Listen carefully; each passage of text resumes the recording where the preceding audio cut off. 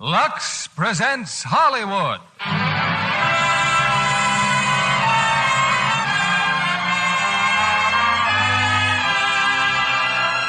Lever Brothers Company, the makers of Lux Toilet Soap, bring you the Lux Radio Theater, starring Gloria Swanson, William Holden, and Nancy Gates in Sunset Boulevard. Ladies and gentlemen, your producer, Mr. William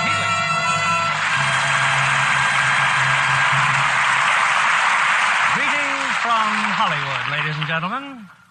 Sunset Boulevard, a busy thoroughfare in the heart of Hollywood, is far more typical of the motion picture capital than even Hollywood and Vine Streets. Here you will find the site of the first motion picture studio, the swank offices of the actors' agents, the night spots. And very far out, almost to the Pacific Ocean, the homes of the screen stars themselves. And this is where tonight's play takes place. In the home of a famous but forgotten glamorous actress of the silent days. Recreating her original role is Gloria Swanson, one of the most glamorous women of silent uh, or talking pictures. Also playing his original role in this Paramount picture, which, by the way, received 11 nominations for Academy Awards, is that excellent actor, William Holden, and Nancy Gates, making her first appearance on our stage. Yes, Sunset Boulevard, with its many Lux girls traveling from studio to studio, is as representative of Hollywood as the Lux girls themselves. For in this capital of beauty, Lux toilet soap is a favorite complexion care. Now here's Sunset Boulevard, starring Gloria Swanson as Norma Desmond, William Holden as Joe Gillis, and Nancy Gates as Betty Schaefer, with John Wengraff as Max.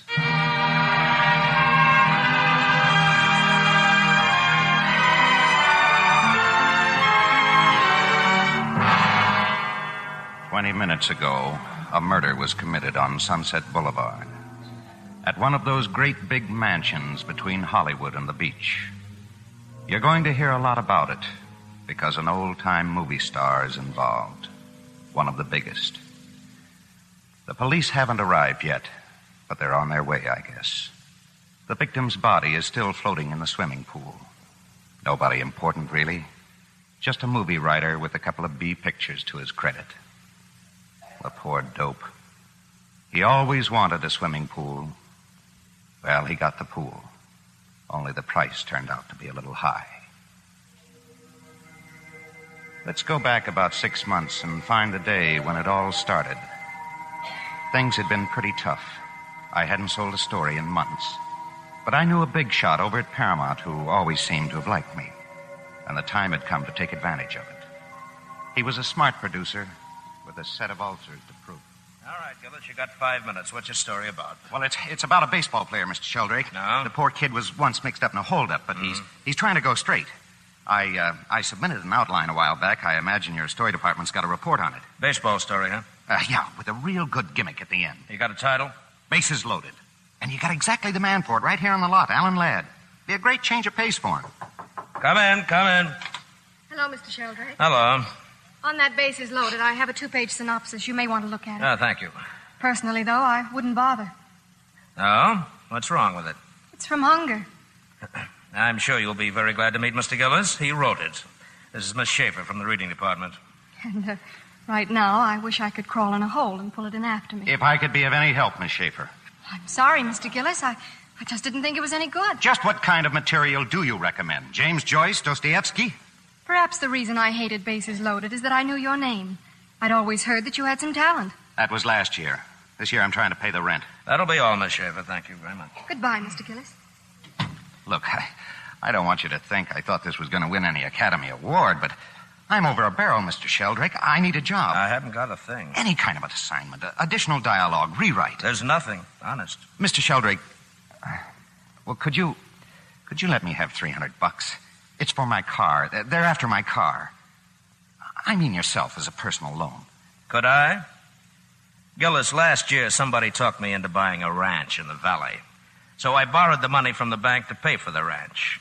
This year I had to mortgage the ranch so I could keep up my life insurance, so I could borrow on my insurance, so I could pay the bank.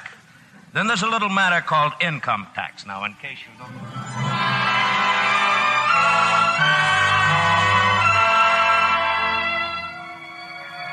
Was that. I drove out of the parking lot. No place in particular. Just driving and trying to think things out. The time had come to wrap up the whole Hollywood deal and somehow get back to Ohio. I stopped for a traffic light. Behind me in the mirror, I saw a very familiar car. Two gentlemen from the Friendly Finance Company. I jumped the light and stepped on the gas. I was on Sunset Boulevard now, heading toward the beach. Suddenly, a tire blew out. There wasn't time to think twice. I turned off the road into a private driveway.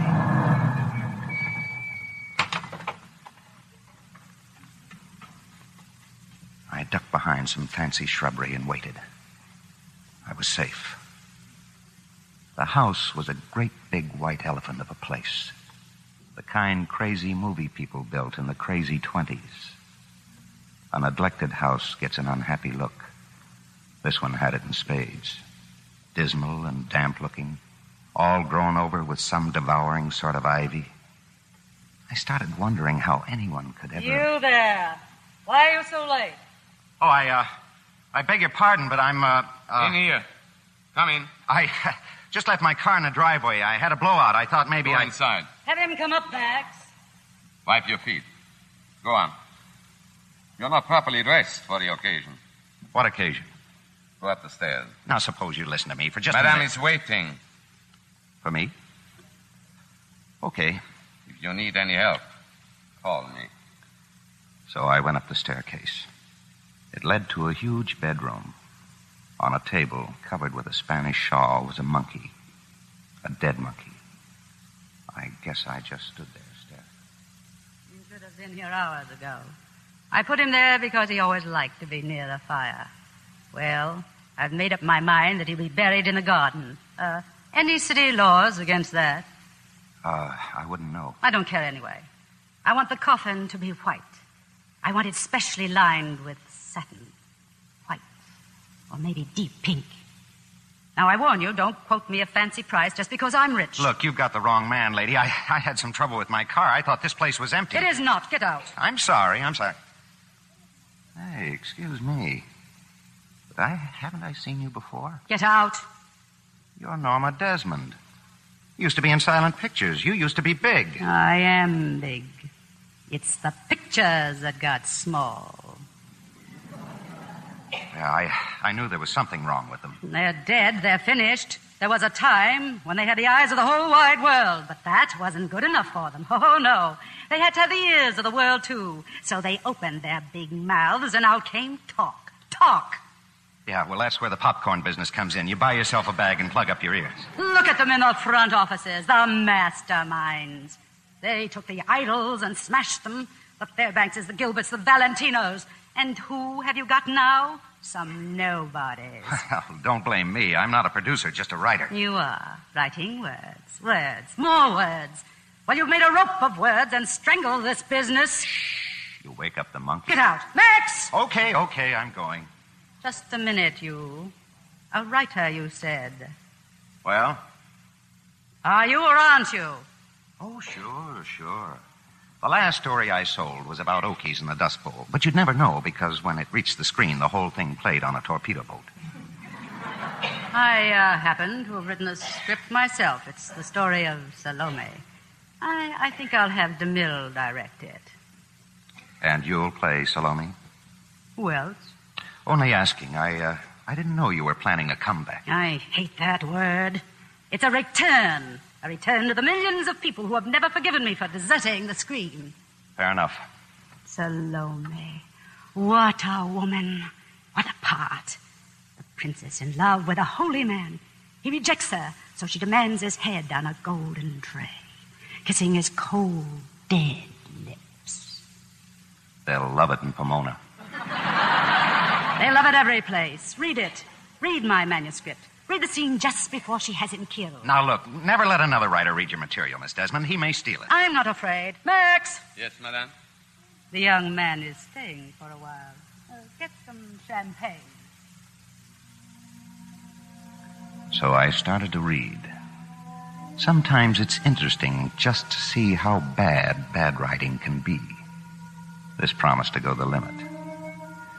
She sat in front of me, coiled up like a watch spring, defying me not to like what I read, or maybe begging me in her own proud way to like it. It meant so much to her. It was sure a cozy setup. That bundle of raw nerves, and Max, and the dead monkey. Later on, just for comedy relief, the real guy arrived with the little coffin. It was all done with great dignity. He must have been a very important chimp. It got to be evening. I was feeling a little sick at my stomach, what with the champagne and that tripe I'd been reading. By then, however, I'd started making up a little plot of my own. Well, you're not going to stop reading. This is fascinating. Of course it is. All it needs is maybe a little more dialogue. What for? I can say anything I want with my eyes. Well, it certainly could use a little editing. I will not have it butchered. Oh, of course not. Just a touch here and there. You can find somebody. Oh, I'd have to have somebody I could trust. Uh, when were you born? I mean, what sign of the zodiac? I don't know. What month? What date? Oh, December, December 21st. Sagittarius. I like Sagittarians. You can trust them. Thank you. I. I want you to do this work. Me? Oh, no, I'm busy. I, I've got a job. I don't care. And I'm pretty expensive. I get 500 a week. I wouldn't worry about money. I'll make it worth your while. Well, maybe I'd better take it home and look it over there. Oh, no. I won't let it out of my house. You'll, you'll have to work here. Well, it's getting kind of late. Are you married, Mr. Uh, name is Gillis, single. Where do you live? Hollywood, Alto Nido Apartments. There's something wrong with your car, you said. There sure is. Why shouldn't you stay here? Oh, look, I'll come back tomorrow. Nonsense. There's a room over the garage. Max will take you there. Max? Max, come here.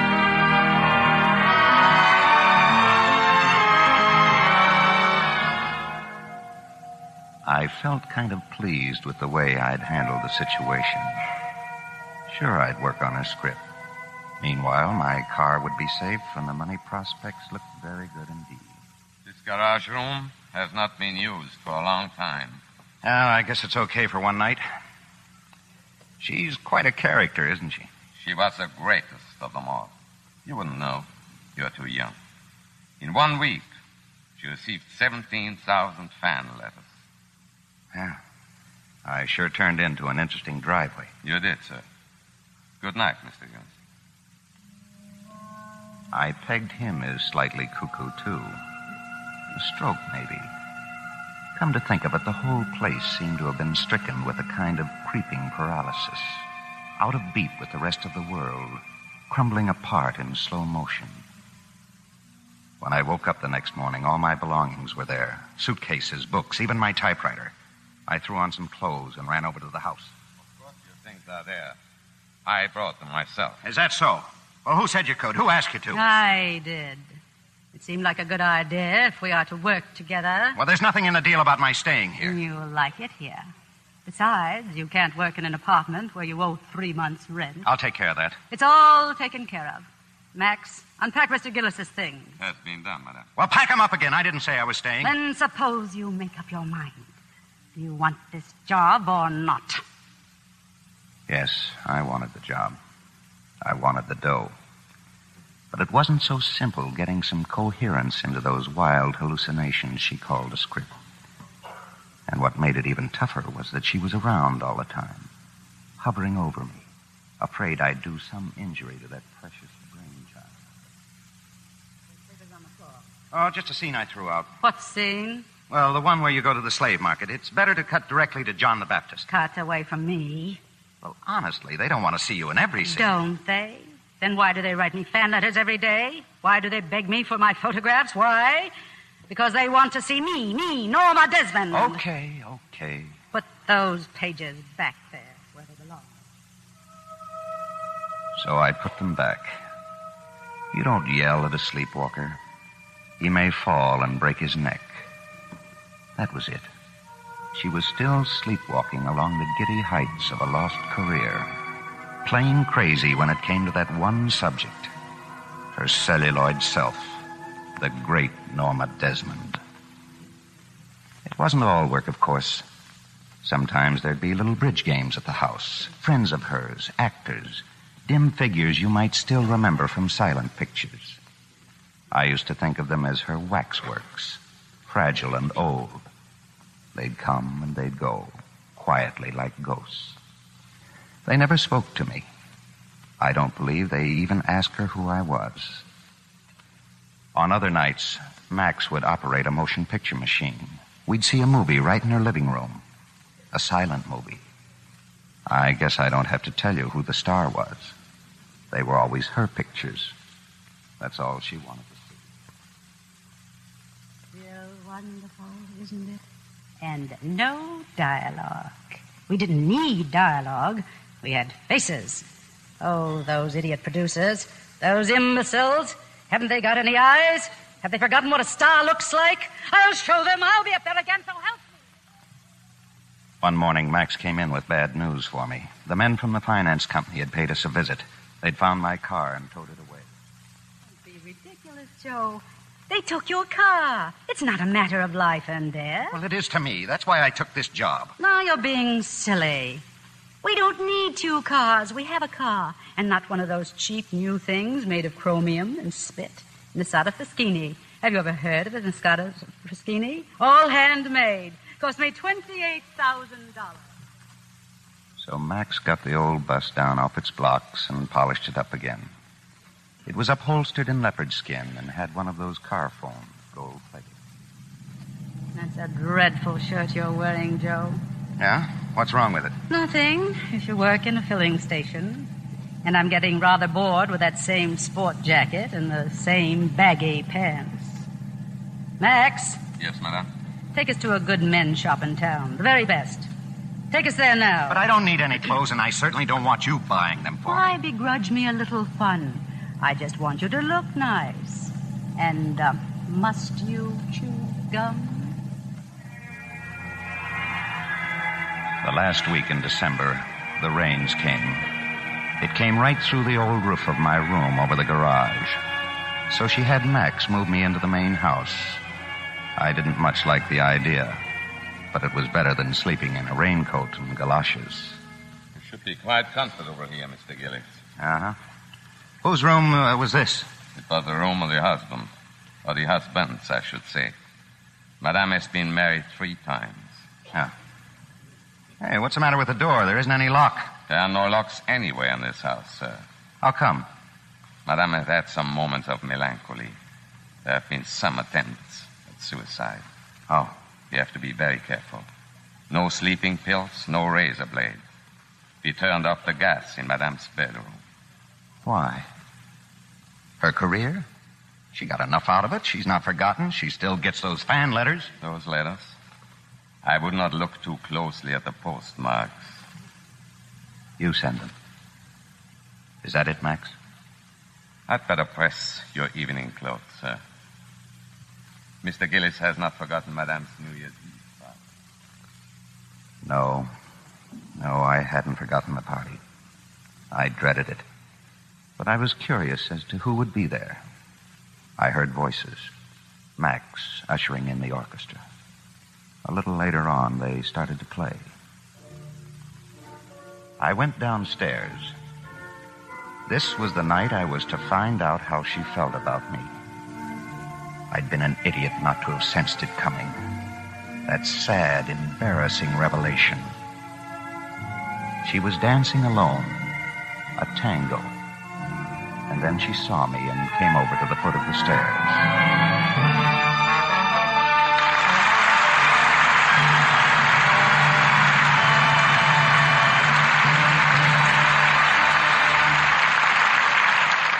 Just a moment, we'll return with Act Two of Sunset Boulevard. Now, here's Libby Collins with the Lux Movie News of the Week. With big news, John, about a top movie.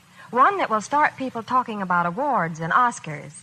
It's Paramount Pictures' A Place in the Sun. Oh, that's based on Theodore Dreiser's An American Tragedy, isn't it? Yes, it is.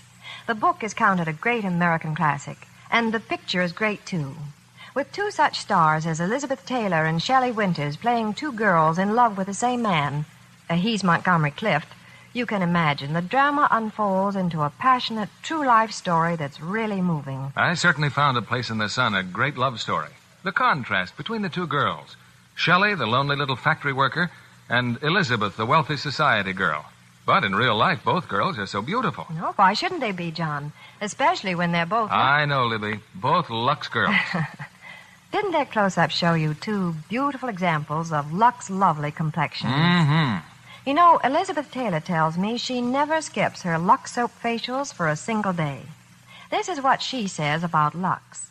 I work the creamy, active lather well into my skin. Rinse with lots of warm water and a dash of cold. Then I pat gently with a soft towel to dry. It's wonderful the quick new beauty these facials give my skin. Lots of lovely women agree with Elizabeth Taylor. And every woman who wants a lovelier complexion should try this famous Hollywood beauty care daily Lux soap facials. Lux Active Lather cleanses so thoroughly but so gently, it leaves your skin softer and smoother. See how easy it is to be Lux lovely. You'll understand why nine out of ten screen stars are Lux girls. And now here's Mr. Keighley, our producer. Act two of Sunset Boulevard, starring Gloria Swanson as Norma Desmond, William Holden as Joe, and Nancy Gates as Betty.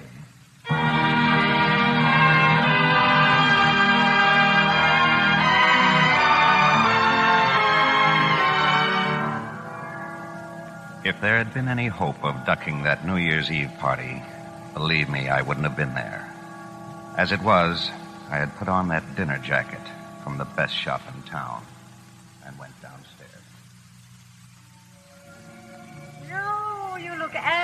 absolutely divine. Turn around. Oh, please. Come on. Perfect. Wonderful shoulders. And I love that line. Oh, it's all padding. Don't let it fool you. Cute. You know, this floor used to be wood, but I had it changed. Valentino said there's nothing like tile for a tango. You tango, don't you? Not on the same floor with Valentino. Norma, it's uh, it's late. What time are they supposed to get here? Who? The other guests. There are no other guests. This is for you and me, Joe. Oh, Hold me tighter. okay. You think this is all very funny. A little. Be patient, Joe. You think it's nice, not funny. You think it's very nice. So we danced. Norma Desmond and I, in a room big enough for a softball game, to the music of a 20 piece orchestra. What a wonderful year it's going to be, Joe. What fun we'll have. I'll fill my pool for you. Or I'll open my house in Malibu and you can have the whole ocean. And when our picture's finished, I'll buy you a boat and we'll sail to Honolulu. Oh, stop it. You're not going to buy me anything anymore. Don't be silly. I'm rich, Joe. I'm richer than all this new Hollywood trash. I've got a million dollars. Keep it. I own three blocks downtown. I've got oil in Bakersfield, pumping, pumping, pumping. What's it for? But to buy us anything we want. Cut out that us business. What's the matter with you? Has it ever occurred to you that I may have a life of my own, that there may be some girl that I'm crazy about? Who? Some car hop? Some dress extra from Central Casting? What I'm trying to say is that I'm all wrong for you. You want a Valentino, somebody with polo ponies, a big shot. What you're trying to say is you don't want me to love you. Is that it? Well, say it. Say it. Say it. She left the room and rushed upstairs, and the orchestra kept playing. Well, I'd had enough. I grabbed my coat and left. I thought about a friend of mine, Artie Green, an assistant director. There was bound to be a New Year's shindig going on in his apartment. I walked down to the boulevard and hitched a ride into town. Well, what do you know, Joe Gillis? Hi, Artie. Where you been? I dropped by your place a couple of weeks ago on the land. Well, I, I, I moved out to a deep freeze. Oh. look, I'll give you a full report later. Uh, meantime, could I uh, stick around here for a while? Oh, this'll go on all night. No, I mean, uh, uh, could you put me up for a week or so? Well, sure, Joe, sure. Just stand by, kid. I'll get you a drink. Hello, Mr. Gillis. Oh, hello. Betty Schaefer, remember? Sheldrake's office. Oh, yes. I've been hoping I'd run into you, Mr. Gillis. What for? To recover that knife you stuck in my back? Well, I, I did feel a little guilty. So I got out some of your old stories. Why, you sweet kid. Please, I, I would like to talk to you. Come on, let's let's go in the kitchen. I didn't pay much attention to what Betty was trying to tell me. Too much noise, too many people having a good time. But suddenly I knew I was feeling good again, and that she was part of that feeling. I told her to wait for me. I'd be right back. I had to make a phone call.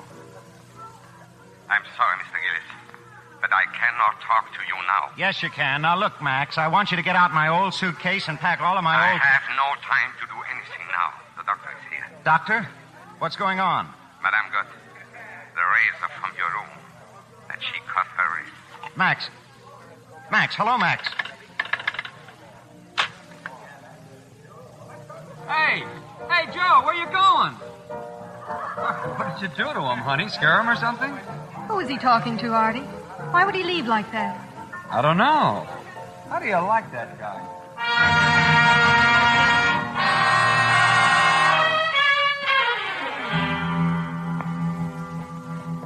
Thank you for coming back, Mr. Gillis. How is she? The doctor says she will be all right. Be careful, Mr. Gillis.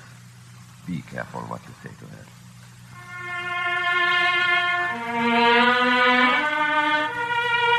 Norma? Go away.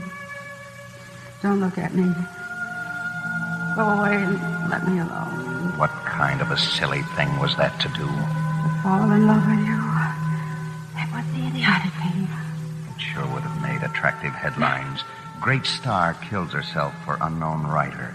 Great stars have great pride. Go away. Go back to that girl of yours. Look, I. I was making that up because I thought the whole thing was a mistake. I didn't want to hurt you. You've been good to me, Norma. You're the only person in this stinking town who has been good to me. Then why don't you just say thank you? Just get out. Not until you promise to act like a sensible human being. I'll do it again. I'll do it again. I'll do it again. Norma. Happy New Year, Norma. Oh, Joe. Joe. Happy New Year,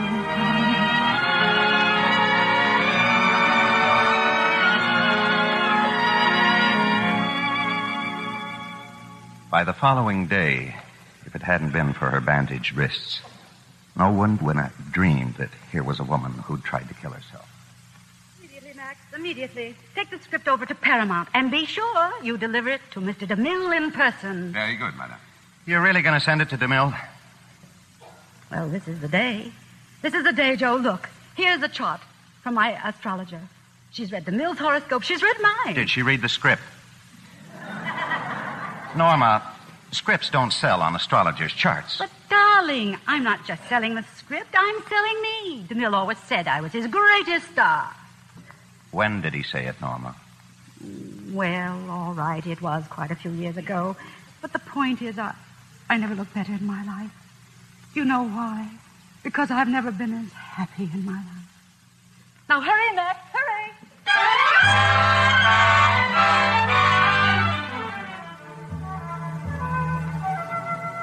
It's for you, madam.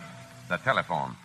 Paramount is calling. Now, do you believe me, Joe? Paramount is calling. I told you DeMille would jump at my story. It's not Mr. DeMille in person, madam. Someone by the name of Gordon Cole. He says it is very important. Certainly it's important. The very idea of having some assistant call me. Say that I'm busy and hang up. Very good, madam. How do you like that? We made 12 pictures together, his greatest successes. Maybe he's busy. Maybe he's shooting. I know that trick.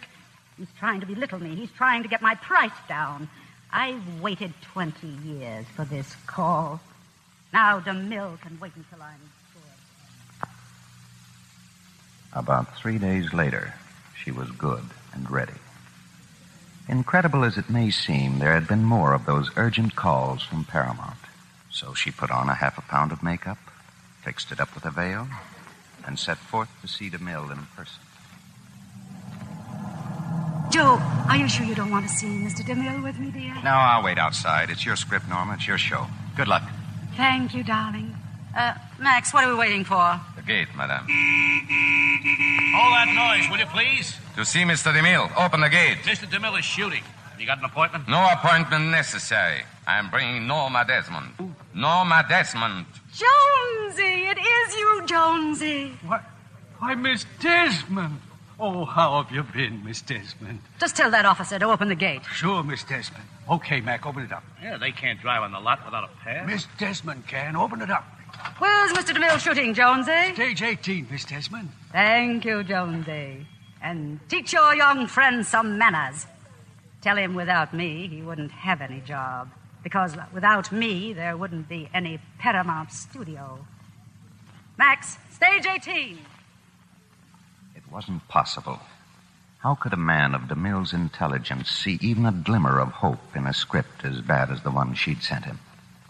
But he came out of the sound stage and put his arms around her, and then led her into his cell.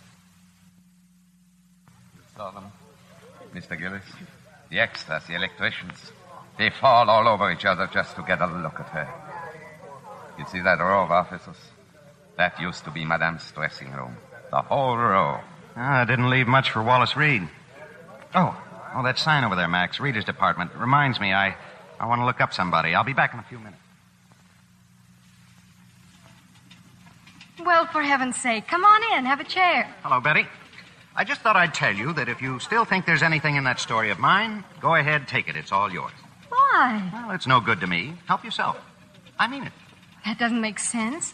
Besides, I'm, I'm just not good enough to do it by myself. Well, what about all those ideas you had? You don't even know what they are. Maybe they aren't any good. Oh, look, Joe, please, if, if you're busy, maybe. Well, maybe we could work evenings or, or even six o'clock in the morning. Artie would just love that. No, for the next month, Artie won't mind at all. He's out of town. Incidentally, we're engaged. Oh? Huh. Well, good for you. You, you couldn't find a nicer guy. That's what I think.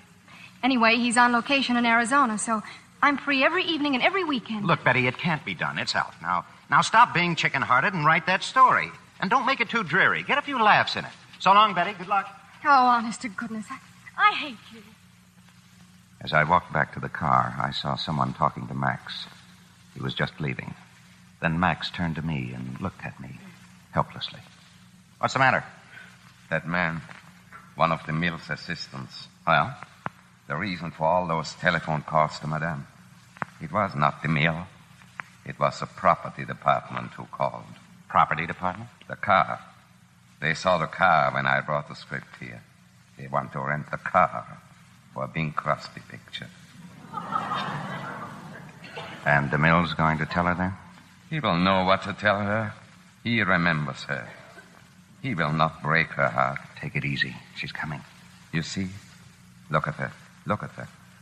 She's radiant. Well, how'd it go? Oh, it couldn't have gone better. It's practically set. Of course, he has to finish this picture first. It's a, a circus picture. But I'm next. I'm sure I'm next. he said nothing would please him more than, than to work with me again. Norma. Oh, it's, it's nothing. I, I just didn't realize what it would be like to come back to the old studio. Oh, what are you waiting for, Max? Forgive me, madam. Your arm, madam.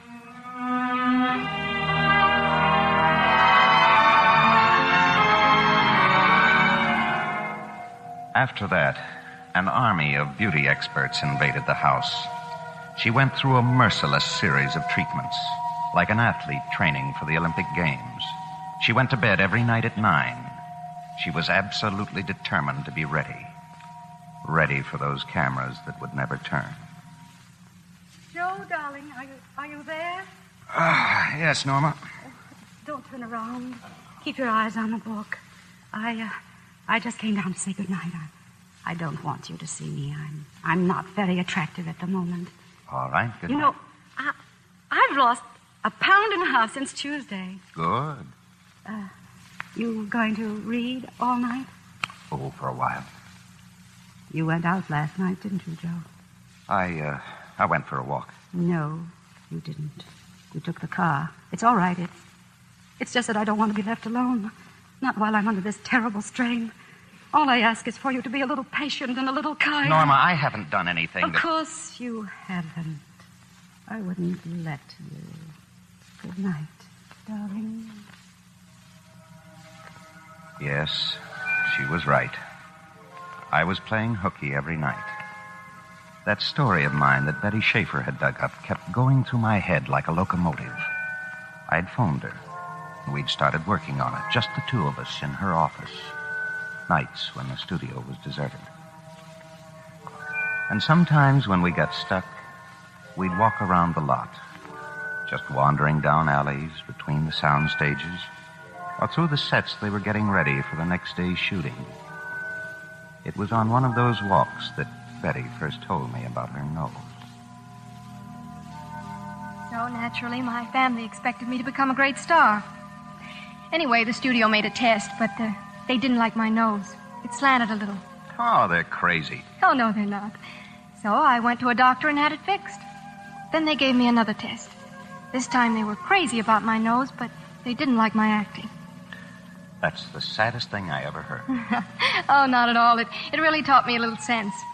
So I got a job in the mailroom, then stenographic, and now I'm a reader. Three cheers for Betty Schaefer. I will now kiss her nose. If you please. May I say that you smell real special? Must be my new shampoo. No. No, that's not shampoo. It's more like freshly laundered linen handkerchiefs. And may I suggest that if we're ever to finish our story, you stay at least two feet away from me at all times. Now let's walk back to your office.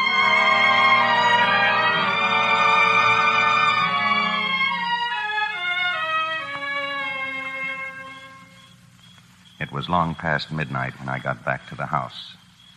Max was waiting for me in the patio. Mr. Gillis, you must be very careful. Madame may be watching. Mr. Gillis, I'm not inquiring where you go every night. Well, why don't you?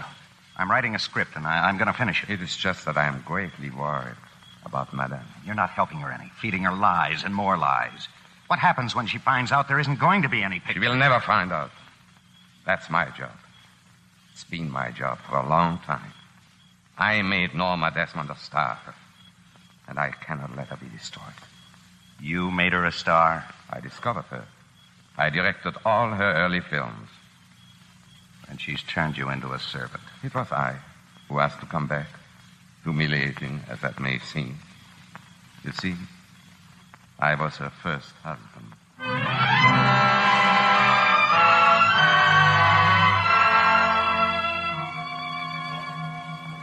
Following night, as usual, I was in Betty's office. Betty was strangely quiet. It wasn't like her. Something had happened. Sorry, Joe. I don't want to talk about it.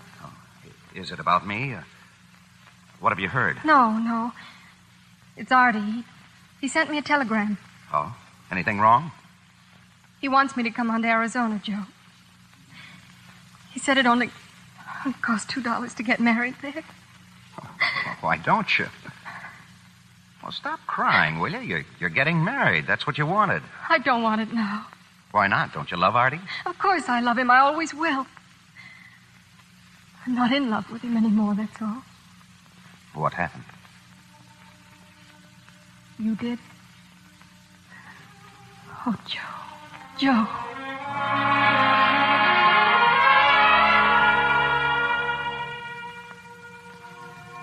She'd been a fool not to sense there was something phony in my setup. And I'd been a heel not to have told her. But you just can't say those things to somebody you're crazy about. Maybe I'd never have to. Maybe I could get away with it, get away from Norma.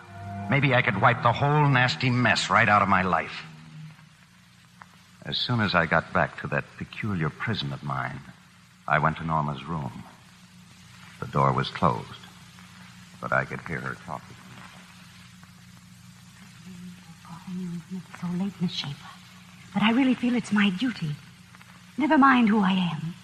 You do know, Mr. Gillis. Exactly how much do you know about him? Do you know where he lives? Do you know how he lives? Miss Schaefer, I'm trying to spare you a great deal of misery. Very well, then. Ask him. Ask him. Give me that phone. No, Joe, no. Give it to me. That's right, Betty. Ask me. Or better yet, why don't you come out and see for yourself? The address is 10,086 Sunset Boulevard. Don't hate me, Joe. Don't hate me. I found a script in your room. Your name was on it. Your name and hers. I called her up because I need you. I need you as I never needed you before. Oh, look at me. Look at my hands. Look at my face. Look under my eyes. How can I go back to my work if I'm wasting away under this torment? You don't know what I've been through these last weeks. I bought myself a revolver. I did. I did. I stood in front of that mirror, but I couldn't make myself do it.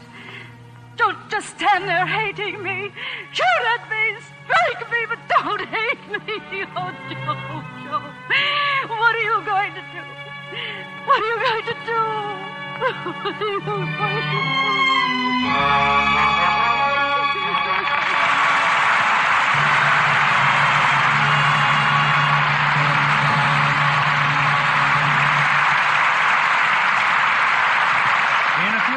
We'll return with Act Three. You know, Miss Nancy Gates, who is starring tonight in our play Sunset Boulevard, is one of Paramount's talented Golden Circle players. So I thought I'd invite as my guest tonight another Golden Circle member.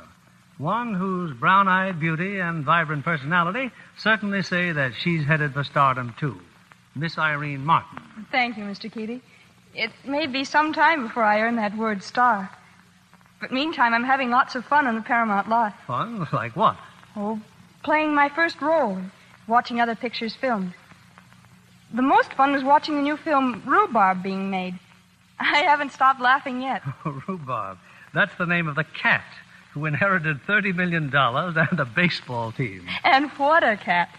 You'll roar at Ray Milland, forced to be bodyguard and nursemaid to Rhubarb, who is tough, rough, and very smart. But that's only the beginning of his problems because Jan Sterling, the girl Ray wants to marry, is allergic to cats. What a gift for comedy Jan Sterling showed. And what a lovely complexion she shows us. A Lux lovely complexion, isn't it? Yes, indeed. Jan Sterling is a Lux girl. We both agree Lux toilet soap is tops for beauty care, and that nothing could be nicer than the big bath size Lux for the daily bath. Thank you, Irene Martin. Yes, Lux has active lather that leaves skin feeling soft and satin smooth. It's a creamy, rich lather, abundant even in hardest water. Try it for your beauty bath. You'll love the delicate, clinging perfume. The way Lux leaves skin fresh and sweet. Lux lovely all over. Nine out of ten screen stars use Lux toilet soap. We pause now for station identification. This is the CBS Radio Network.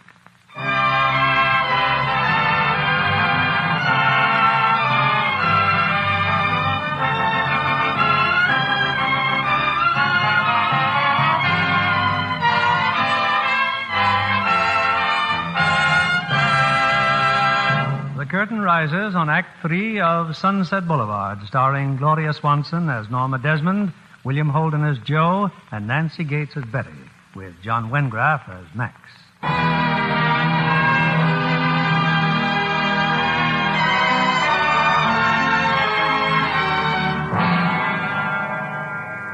What was I going to do? Over and over, she kept repeating those words, sobbing, hysterical.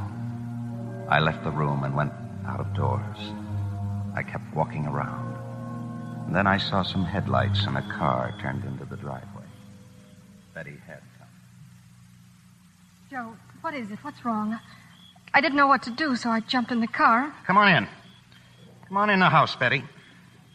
I don't know why I'm scared, Joe. Is it something awful? Take a look around, Betty. Ever been in one of these old Hollywood palazzos? They built them like this when they were making 18000 a week and no taxes. You live here, Joe? You bet. Whose house is it? Whose? Well, there are a hundred photographs of her in that one room. If you don't remember the face, you must have heard the name. Norma Desmond? Why did she call me? Did you ever see so much junk? She had the ceiling brought all the way over from Portugal. A- and look at this. Joe, what about Norma Desmond? That's what I'm trying to tell you. This is an enormous place. It's lonely here. So she got herself a companion. Very simple setup. An older woman who's well to do, a younger man who's not doing too well. Can you figure it out yourself? No, All right, I'll give you a few more clues. no. No, I haven't heard any of this. She never called me, and I've never been in this house. Now get your things together and let's get out of here. All my things? My 18 suits, my custom made shoes, the six dozen shirts, the cufflinks, and the platinum keychains and cigarette cases? Come on, Joe. Come on, where? Back to a one room apartment I can't pay the rent for? Back to a story that may sell and very possibly may not? If you love me, Joe. Look, sweetie, be practical. I like it here. Maybe it's not very admirable. Well, you and Artie can be admirable. I can't look at you anymore, Joe. How about looking for the exit then? This way. Good luck to you, Betty. You can finish that script on your way to Arizona. And uh, when you and Artie get back, if the two of you ever feel like taking a swim, there's a pool out there. Italian marble and soft colored lights. Thank you, darling. Thank you, Joe. Get out of my way. I'm leaving, Norma. Joe. Joe, no, no. You can't leave me. You can't. I said I'm leaving. No, you're not. Thanks for letting me wear the handsome wardrobe, and thanks for the use of all the trinkets. The jewelry's all in the top drawer. It's yours, Joe. I, I gave it to you. And I'd take it in a second. Only it's a little too dressy for Dayton, Ohio. What I gave you is nothing.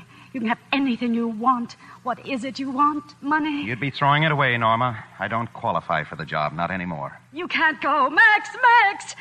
I can't face life without you. And you know I'm not afraid to die. That's between you and yourself. You think I made that up about the gun, don't you? All right, see, I do have a gun. I suppose you don't think I have the courage. Oh, sure, sure. You don't. If it would make a good scene. You don't care, do you? Well, hundreds of thousands of people really Oh, wake care. up, Norma. You'd be killing yourself to an empty house. The audience left 20 years ago. Now face it. That's a lie. They still want me. No, they don't. What about the studio? What about DeMille? He couldn't hurt you. He couldn't hurt anyone. DeMille was trying to spare your feelings. The studio only wanted to rent your car. Wanted what? DeMille didn't have the heart to tell you. None of us had the heart. Come on in, Max. Go on, tell her. It's a lie. They want me. I get letters every day. Do her that favor, Max. Tell her there isn't going to be any picture. There aren't any fan letters except the ones you write. Max, that isn't true. Madame is still the greatest star of them all. I'll take Mr. Gillis back to the car. You heard him. I'm a star. Norma, you're a woman of 50. Now grow up. There's nothing tragic about being 50, not unless you try to be 25. I'm the greatest star of them all. Goodbye, Norma. No one ever leaves a star. That's what makes I left her standing there. I grabbed my coat and started out. She kept calling me. Joe! Joe! Joe! I could hear her running after me. Joe! Joe! I was out of the house now. and The air suddenly felt fresh again, clean. I started across the patio. She called to me once again. Joe! But I didn't stop. I kept on going. Suddenly, it was a great effort to keep on walking. I was alongside the pool now, and if I could only.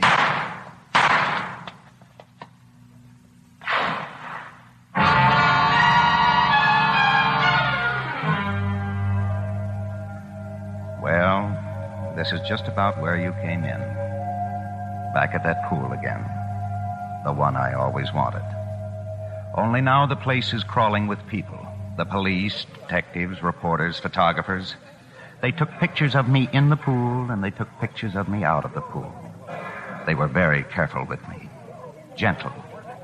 It's funny how gentle people get with you once you're dead. Well, the newsreel guys are roaring in now. Here's an item everybody can have some fun with. The heartless so and so's. What would they do to Norma? Even if she gets away with it in court, crime of passion, temporary insanity, the headlines are going to kill her. Forgotten star, a slayer. Aging actress. Yesterday's glamour queen. They're talking to her now up in the house. The boys from homicide. They found her upstairs, sitting at her dressing table, arranging her hair. She just Won't talk, Captain. State of shock, I guess. Miss Desmond, please. You don't deny having killed that man. Just answer us yes or no. Did you intend to kill him? Who is he? Where did you first meet him? Where does he come from? Newsreel men are here with the cameras, Captain. Tell him to go fly a kite. This is no time for cameras. Miss Desmond, is there anything at all you want to tell us? Cameras. He said cameras. What is it, Max? The cameras have arrived, madame. They have. Tell Mr. DeMille I'll be on the set at once. What is this? It's one way to get her downstairs, isn't it? Okay. Have the car right outside. Everything will be ready, madame. Thank you, Max. You'll pardon me, gentlemen, but I, I must get ready for my scene. The cameramen were at the foot of the stairs, a dozen reporters firing questions, but Max didn't even bother to look at them. It was the cameras he was interested in. Quiet, everybody. Come on. What is this? Miss Desmond is coming. Lights. Turn up the lights. Lights? Are you ready, Norma? What is the scene? Where am I? This is the staircase of the palace. Oh, yes. Yes. Down below, they are waiting for the princess. I'm ready. All right. Cameras. Action. So they were turning after all. Those cameras. Life, which can be strangely merciful, had taken pity on Norma Desmond. She came down the stairs. They were not policemen. They were not photographers or reporters or just the morbidly curious. To Norma, they were her public, her fans. And she was back again, working with DeMille. I can't go on with the scene. I'm too happy. Mr. DeMille, do you mind if I say a few words? Thank you. I just want to tell you all how happy I am to be back in the studio, making a picture again. You don't know how much I've missed all of you. And I promise you I'll never desert you again. Because after Salome, we'll make another picture and another picture. You see, this is my life. It always will be. There's nothing else. Just us and the cameras and those wonderful people out there in the dark. All right, Mr. DeMille. I'm ready for my close-up.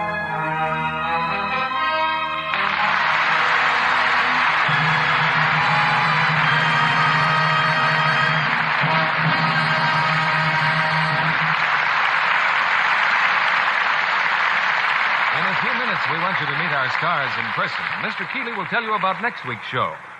But first, here's Libby Collins with a very exciting question. Is the lovely Lux girl? Oh, you mean who is the mystery star in the big Lux Girl contest? That's it. The lovely Hollywood star with her eyes masked out. Her picture's appearing in newspapers everywhere, on posters in grocery stores all over the country. Give our listeners a clue, Libby, to help identify her. Right. Our Lux mystery girl is the star of Metro Goldwyn Mayer's Too Young to Kiss. That makes it easy for everyone to identify her and to enter this wonderful Lux contest. The prizes, John, are simply wonderful. Why, the first prize is $5,000 cash plus a Ford Victoria sedan And there are 10 more Ford Victoria sedans to be given away, and 214 karat gold diamond Bulova watches. plus $10,000 in additional cash prizes. Over $60,000 worth of prizes, and everyone easy to win. Besides, it's really fun to enter the contest. First, you identify the mystery star. Then, complete the last line of a jingle. Now, here's the jingle June is her name, the last is da da da. That's where you fill in the star's name. I'll repeat it. June is her name, the last is da da da. Her lovely skin's beyond comparison. Her beauty soap's the one for me. Da dee, da dee, da dee, da dee. Everyone knows lots of nice things about Lux soap to help write that last line. Yes, for instance, Lux Soap has active lather. Rich, creamy lather that cleanses gently but thoroughly, leaves skin softer, smoother. It's a firm white cake with a delicate flower like fragrance. Comes in a generous big bath size, too. Nine out of ten screen stars are Lux Girls. So go ahead, enter this big Who is the Lovely Lux Girl contest right away. Get the entry blank at your grocer's tomorrow. The picture of the star to be identified, the jingle, the rules, and the address are all on the blank. Send in as many entries as you wish, but with each entry, attach two Lux toilet soap wrappers, either regular or bath size. The contest closes October 15th, so start now. Get your entry in right away. Just think $60,000 worth of prizes, over 1,200 opportunities for you to win. And now, here's Mr. Keighley with our stars. And we want them to come forward for a well deserved curtain call. Gloria Swanson, William Holden, and Nancy Gates.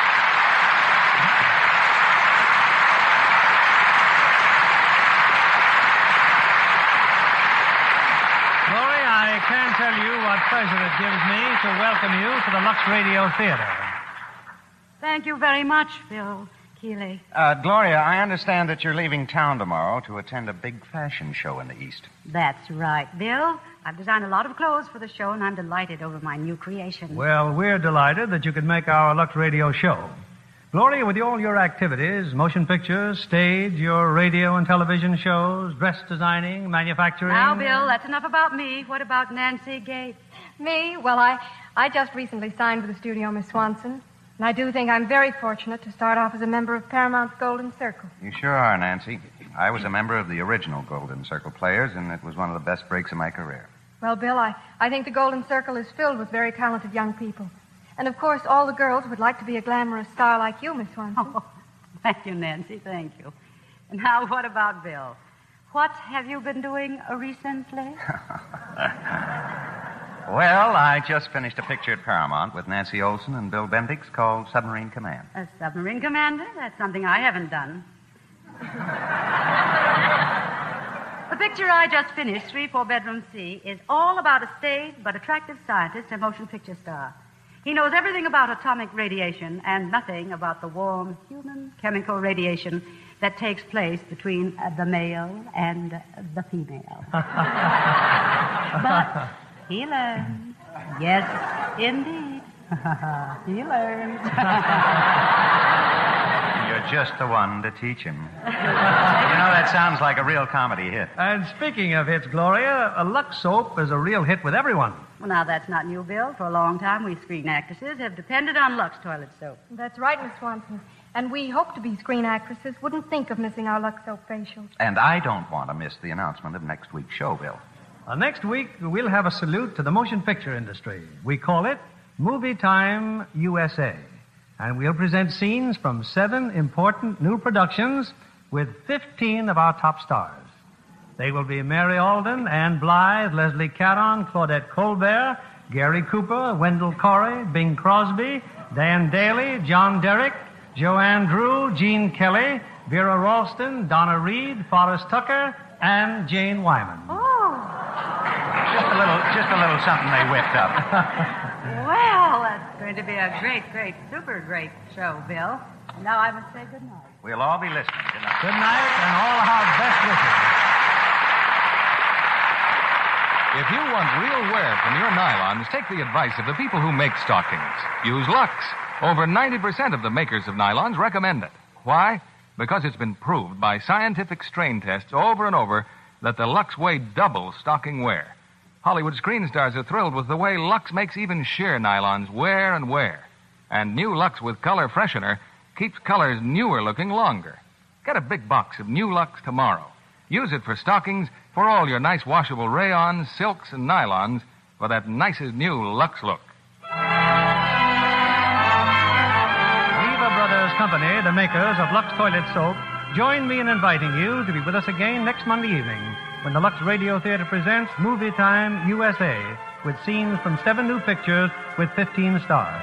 This is William Keighley saying good night to you from Hollywood. Nancy Gates appeared through the courtesy of Paramount Pictures, whose latest release is Here Comes the Groom, starring Bing Crosby, Jane Wyman, and Alexis Smith. Our play was adapted by S.H. Barnett, and our music was directed by Rudy Schrager. This is your announcer, John Milton Kennedy, reminding you to join us again next Monday night to hear Movie Time USA, starring 15 stars and seven of their latest pictures. This is the CBS Radio Network.